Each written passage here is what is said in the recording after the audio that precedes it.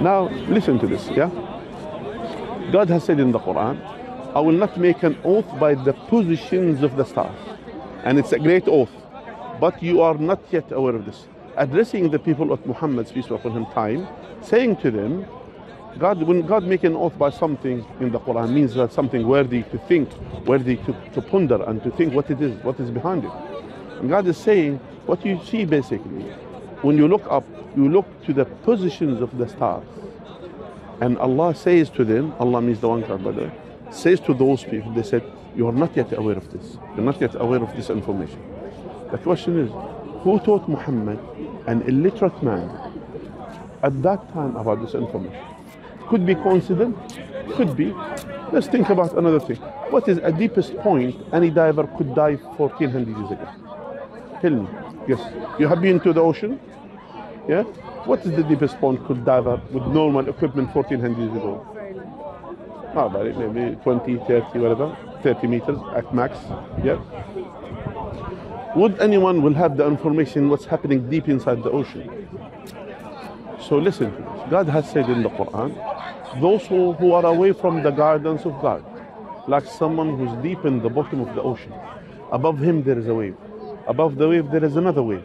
Above the sea there is a cloud. Even if he took his hand out of his pocket, he will be unable to see it. Darkness upon darkness. So God is describing certain type of darkness. God could say those who are away from the guidance of God, they live in pitch dark. They, are, they live in darkness. That's it. That's sufficient information to know to stay away from the misguidance. Simple as that. But God described certain type of darkness, describing this darkness, layers of darkness. So when the sunlight comes to uh, on earth, and if, the, if it's a cloudy weather, like for example today, 40% of the of the light will be reflected back, and 60% will go through. This 60%, if there is waves on the surface of the sea, the waves breaks the light, and only half of it will go through. This half which goes through, people used to appreciate the, the surface waves of the sea, but they never know that is deep in the ocean there is there's another type of wave traveling in a different direction, which is called the sea current, and they travel by waves, and this goes in a different direction than the surface waves. And when the sunlight hits them, whatever remains from the sunlight, it will break whatever remains from this light. And deep in the ocean, there's pitch dark, which they go discovered recently. That some fishes and things they have, they have, they have a place of eyes, but they don't have kind of they are not utilize the eyes, for example. And even they are trying to utilize the heat of the of the uh, you know of the um, uh, of the floor of the ocean rather than you know from the sunlight.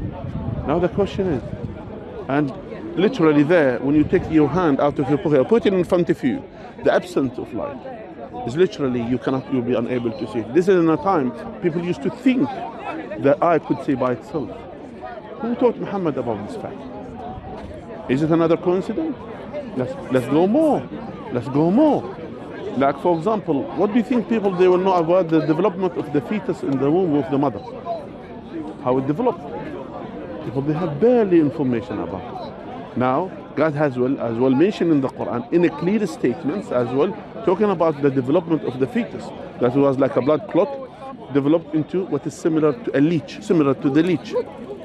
And you could see here, here, look at it.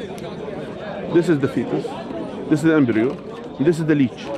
And God is saying it's like a leech, like hanging inside the womb, taking its provision, its food, and its sustaining from the mother, like the leech taking blood. Yeah, similar to this. Now and then this leech developed into bones, and this bones was covered with the flesh, and this flesh was became human being. We talked Muhammad about it. Is it another coincidence? All of this information, and you could see the Quran is full of this information. All of this information was revealed 1400 years. And Quran never claimed to be science book, but Quran claims to be book from God, and it has scientific facts.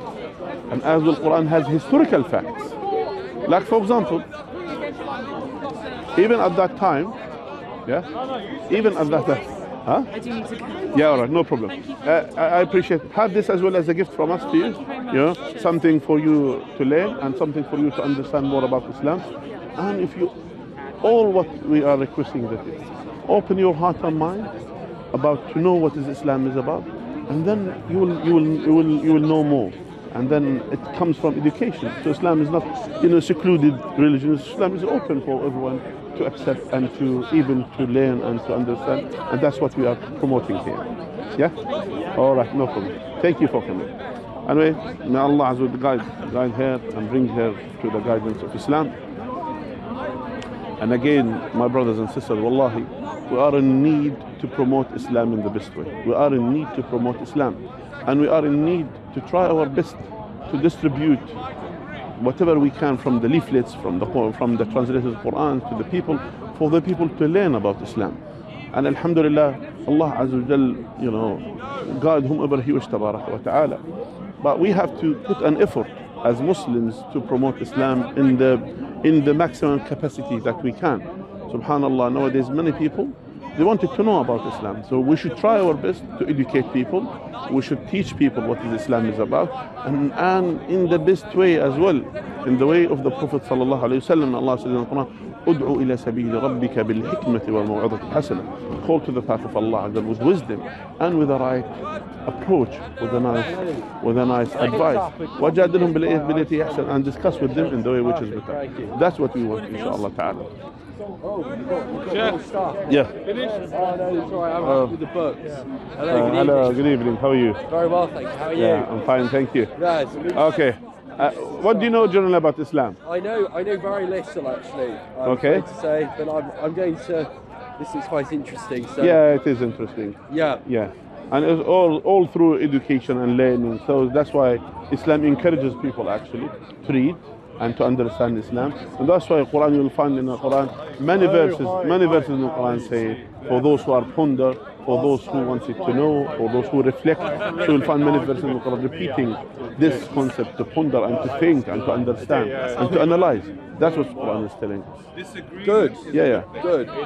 I, th- I, I think questioning things, reading, is very important. So Yes. I, I support that message, and uh, I look forward to reading this. Perhaps we can have a discussion Yes, about no it. when problem. I've- Well, we're, we're here. We're here. Try to read. Yes. And we we are here every week. You could come and discuss with us, and we have no Perfect. problem. here. All right, well, Uh, thank you. All right. Look Right. after yourself. All right. Take care. Take care. All right. Take care. Okay. Alhamdulillah, we have many people coming. Alhamdulillah, to. Uh, to ask about Islam, and it's a, it's a blessing of Allah Azza wa Jal that Allah Azza uses us to promote Islam. We ask Allah Azza to increase us all in knowledge and iman, and we ask Allah Azza to utilize us and use us in the, to promote His Deen and to promote the truth to the people. وجزاكم الله خيرا. May Allah reward you all. And by the way, for, for all my brothers and sisters, inshallah ta'ala, please subscribe as well. I have my channel, which is SH Sheikh Muhammad Tarawni, SH dot Muhammad Tarawni, I think. That's what the brothers they have. The brother they have, uh, they are recording for me. Jazakumullah khair.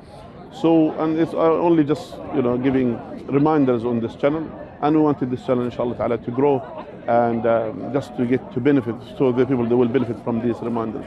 So please, inshallah ta'ala, subscribe to the channel, inshallah ta'ala, and uh, learn as well, inshallah ta'ala. And it, that's my channel is about education, is about reminders. That's all. It's not. I don't put any debates or things like this in it. It's just only reminders and and uh, quoting hadith, quoting certain things uh, from the Quran or certain things from certain from scholars and wisdom that to quote from scholars. That's why I encourage my brothers and sisters inshallah to subscribe to it and to inshallah ta'ala and to benefit from it inshallah ta'ala and I'm doing it for the sake of Allah Jazakum Allahu khairan all my brothers and sisters Allah reward you and bless you alaikum wa rahmatullahi wa barakatuh.